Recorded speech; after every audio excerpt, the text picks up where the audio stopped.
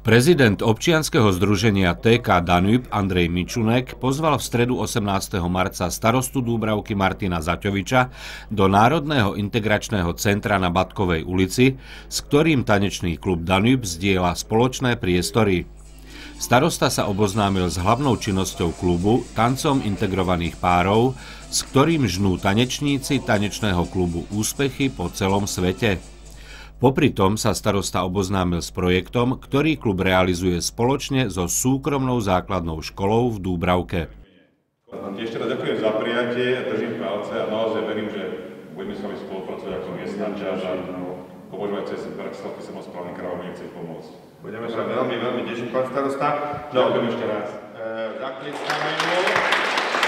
Neželi sa partner, ale pekne rozpráva a naučil. To je dôležité. E, tanečný klub Danu Bratislava pozval nového starostu Dúbravky, pana doktora e, Zaťoviča, sem do tanečného klubu Daniu Bratislava, aby odprezentoval všetky jeho aktivity, tak s postihnutými ľuďmi, ako aj s ľuďmi bez zdravotného postihnutia.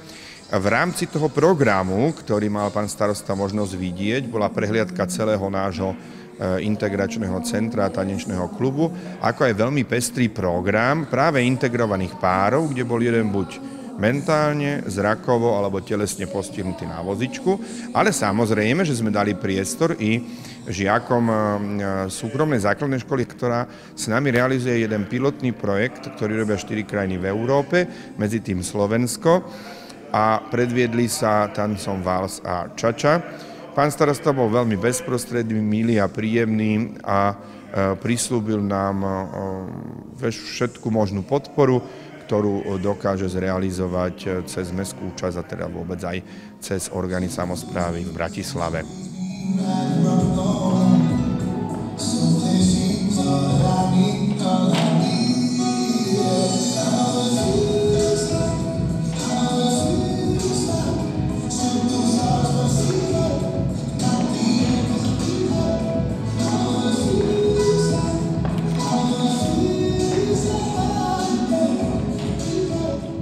Súčasnosti s pánom riaditeľom Mičunekom a tanečným klubom Danube Bratislava organizujeme pilotný program, ktorý sme zakomponovali do telesnej výchovy našej školy a jedná sa o tanečný šport.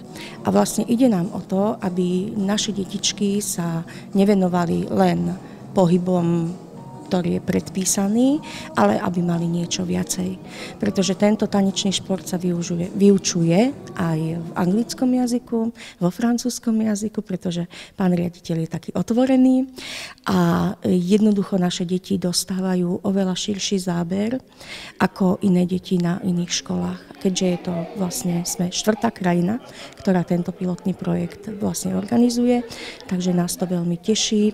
Rodičia videli prvé výsledky, pretože bol taký prvý venček, kde sme im ukázali výsledky detí a úsiliu pána riaditeľa a druhý, teda druhé tanečné kolo nás čaká na konci školského roku a dúfame, že teda tento projekt rodičov takisto tak oslovil ako aj nás, že budeme v ňom veľmi úspešne pokračovať.